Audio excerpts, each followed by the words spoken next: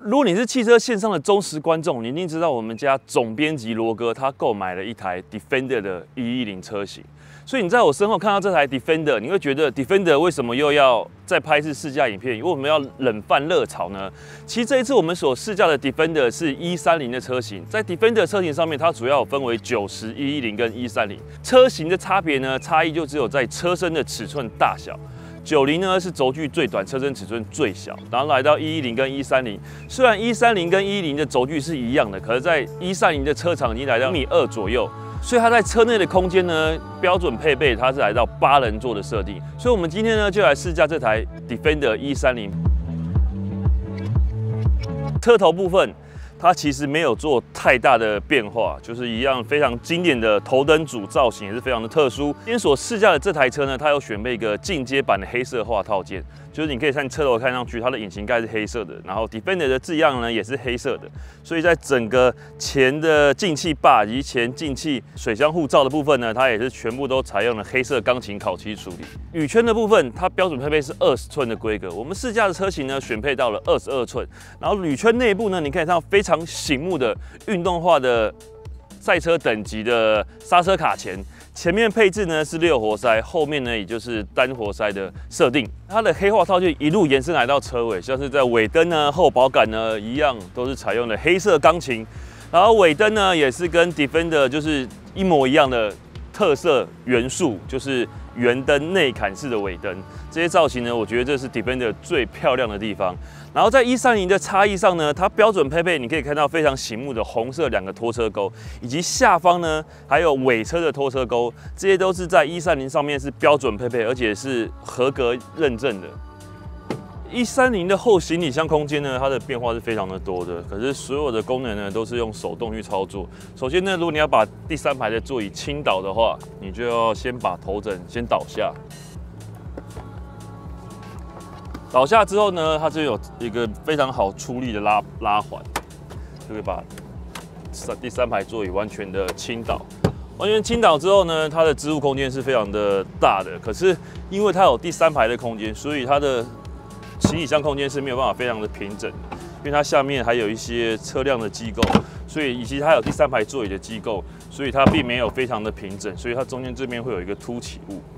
进到底分的 E 三零的驾驶座，你会发现它整体的配置跟我们所熟悉的一一零是完全的一模一样。不管是在中控台啊，它使用的也是一个十一点四寸的呃多功能荧幕，它可以支援无线的 Apple CarPlay，以及它另外呢在里面你也可以去监控车辆的状态啊，像是越野的一些外外部的影像，然后另外呢冷气、空调、座椅。都可以从这个十一点四寸的荧幕去做控制。下方呢，排挡杆它的造型就是立体式的。然后左边呢，这个冷气界面是非常的重要。它除了可以控制冷气之外呢，它也可以去控制全地形模式的呃状态，以及它的车辆高度的调整，都在这一个冷气以及多功能的界面去做选择。所以这个地方呢是非常非常的重要的。然后后方呢，中央扶手也是非常的宽大，它里面呢标准配备有一个制冷的冰箱，你可以把饮料放进去，在夏天的时候你就可以喝到非常冰冷的饮料。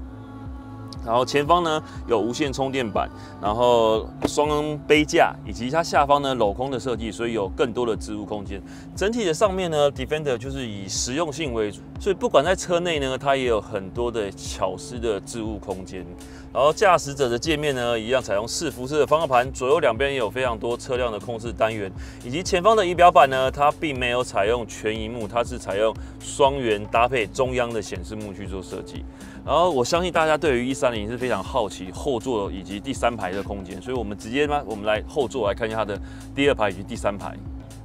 来到第二排呢，你可以发现它的座椅空间也是非常的宽敞。其实，在一零上面，它的空间已经表现的非常的出色了。然后第二排的座椅呢，一样有前后的前后的滑移。然后你可以像是，如果你想要舒适一点的话，你就往到后面；你想要后面行李箱空间或者第三排乘坐者有更大的空间，你就可以把。以座椅往稍微往前滑移，然后达到一个比较标准的坐姿。然后另外呢，在椅背它也有一个多段的角度调整。虽然角度的呃可以调整的幅度不大啦，可是对于乘坐者来说，你很容易可以调整到一个非常舒服的坐姿。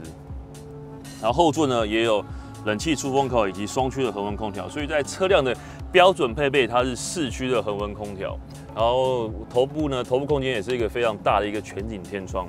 第二排空间跟一零差不多，所以最重要也是本片最精彩的就是一三零的第三排空间。走，大家去实际的体验看看。来到进到后座呢，其实也是非常的简单，基本上就是开了门，然后在它的座椅部分呢，有一个拨杆可以去拨，然后座椅呢就会往前移，以及椅背就会倒下。虽然它的空间没有非常的大，就是进出的空间没有非常大，就是稍微进去的时候还是要。爬蹲下来进来，就可以到第三排的后座的空间。然后我们把它呢移正。如果前方的角度，呃，前方的座椅位置，我觉得以这样来看，前方的座椅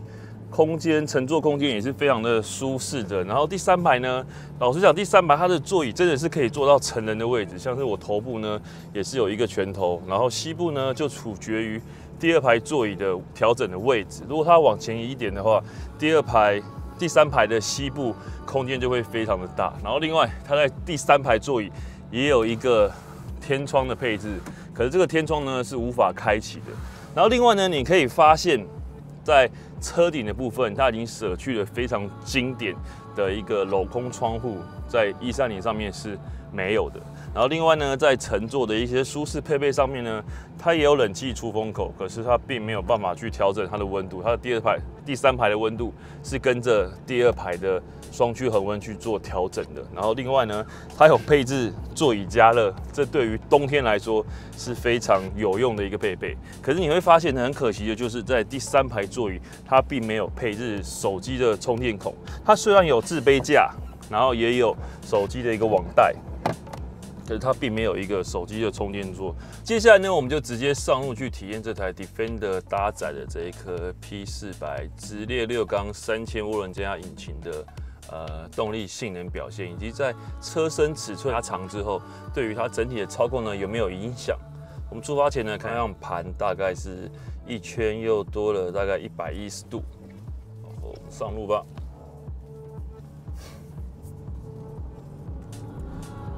这一颗呢，首次导入台湾的动力规格，它是一颗直列六缸的三千涡轮增压汽油引擎，呃，再加上它的变速箱是使用的八速的手自排变速箱，所以整体看上去呢，我觉得对于这台车重已经超过约两千五百多公斤的呃车重来讲。呃，看起来应该是非常的够用以及非常的充沛。我们从数据上面来看呢，你会发现它的这颗引擎的特性呢是比较于偏向高转的，就是它的马力呢峰值大概在六千转，然后扭力峰值也大概在五千转，所以就是你必须要拉高转速，它才能完全发挥这台这颗引擎该有的动力。所以你就会好奇啊，那这样子低速是会不会因为它的车重这么重？呃，再加上它的呃设定又是属于高转，在低速呢会不会来的呃涡轮迟滞来的非常的明显？老实讲呢，我上路体验，我刚开始开的时候还没开之前，我也有这样的疑问。可当我上路开的时候，你会发现它的低转呢，好在它的引擎排气量够大。最低速的时候，它的输出呃加速呢都有稍微弥补了一些涡轮迟滞的问题。所以当你大脚油门下去的时候，你会发现它的速度其实来得非常的快。所以对于消费者来讲呢，它并没有给你太大的压力在驾驶上面。所以在悬吊的设定上面呢，它是比较偏向柔软的调性。所以在山路上面行驶，并不是。它设定的舞台，毕竟山路上面你摇晃，呃，速度快过弯，它的车重又重，车身高度又高，重心又高，这些物理上面的调性是没有办法就克用避震器或者悬吊去做弥补的。如果你想要加非常硬的避震器，这台车就会变得非常的不舒服。而对于一三零来讲呢，你开在四驱上面，其实它并没有太大的压力，它的整个车身尺寸前半段其实就跟一一零是一模一样的，你就只要抓好它的一个车距，就是你要抓好你的距离感，对于穿梭在小巷子啊，或者是比较窄的路况的话，其实呃你的控制也是可以非常的精准。尤其是现在呢，车辆都搭载了像是环景的功能，以及车尾啊，不管车身四周都有设置镜头，所以当你觉得有一点点压力的时候呢，你就可以透过这些呃科技的配备去辅佐你，在于穿梭巷子里面就可以避免一些车辆的碰撞。另外，在 Defender 一三零上面呢，它其实也有配备呃很丰富的主动安全，像是车距的控制啊、车道的偏离啊，都可以透过呃你的右手边的方向盘控制按键去做。开启或者是关闭，然后去可以去调整你前后车距的距离。一三零上面它的动力其实是非常的快的，它零到一百加速只要六秒多，已经是达到了一个性能车的一个集聚，就是它加速是非常的轻快的。可是唯一可惜的就是它没有配置换挡拨片。也许原厂认为这台车就不是性能车，所以你会用到换挡拨片的时候，可能就是在越野的时候需要去控制档位，它的输出的呃曲线。这时候才需要去控制档位，所以他们可能认为你在越野的时候呢，你用手动就排档杆去做呃档位的切换。而另外呢，这台车其实一三零它的后轴之后加长了，所以对于越野的离去角多少都有受到一些影响。一零呢，它离去角大概四十度，可是来到一三零的时候，它只剩下二十几度的离去角，所以在越野性能上面呢，会因为一三零的车身的尺寸放大了，所以多少会影响到它这个越野的一个性能。好了，接下来我们今天呢有一个特别任务，就是要去开着这台 Defender 一三零去做一个秘密任务。我们等一下再告诉你们这次任务要做什么。好了，我们今天的特别任务来朋友的店里面，在我们比赛车用的轮胎，就是要看这台 Defender 一三零它到底有多能载。首先呢，就是要把座椅倾倒，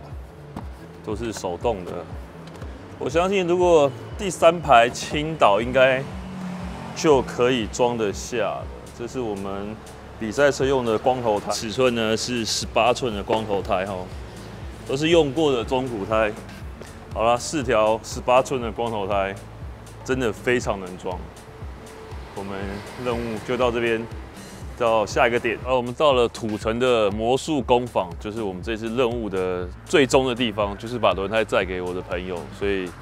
Defender 一三零呢，其实它的空间是非常的大的，所以不管你是要载人或者是载物，我觉得都是非常的好用的。所以如果你有载物的需求，我觉得 Defender 一三零是一个非常不错的选择。Defender 呢，刚在台湾上市的时候呢，其实就已经造成了车坛上面的话题，尤其是非常多的一些老玩家，他看到 Defender 这么经典的车款又复出于在车坛上面，所以对于一些呃硬派的越野玩家来讲，Defender 是一台非常值得收藏的车款，所以这也造成了 Defender 刚上市的时候，台湾呢就造成了缺车。虽然有一大部分是因为晶片所造成的，可是，在车市上面的 Defender 确实是一台非常抢手的车款。而来到 Defender 的一三零之后呢，其他在市场上的存在可以吸收到一些他想要八人座的呃消费者，然后又可以一个非常舒适宽敞的内装的空间。以及一些比较豪华的配备来讲，Defender 的一三零呢，确实可以吸收到一些这些呃消费者这些族群。